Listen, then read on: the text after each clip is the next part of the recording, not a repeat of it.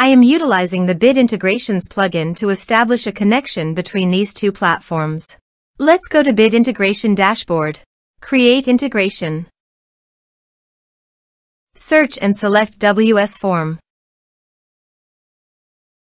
To integrate the WS form go to the WS form and navigate to the action. To add a new action, click on the plus icon and give it a meaningful name.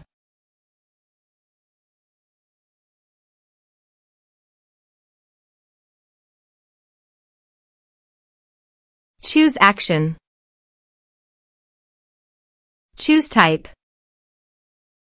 Give here a hook tag.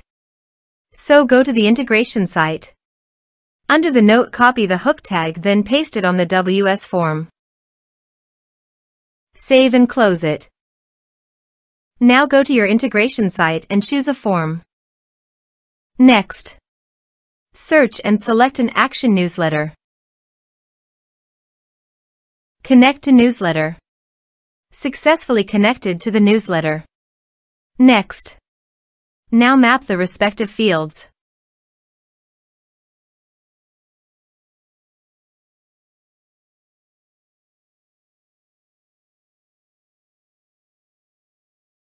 Here are some advanced features in action and conditional logic. You can use for your requirement. Next.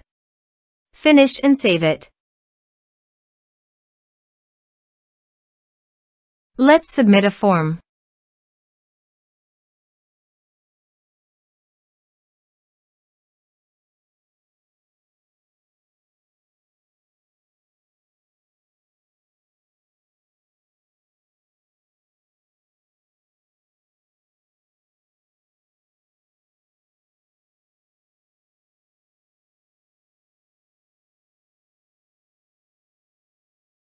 Submit it.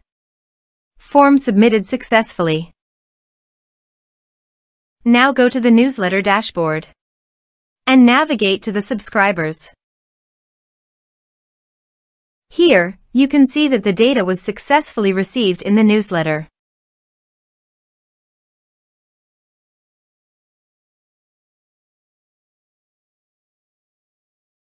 Thanks for watching.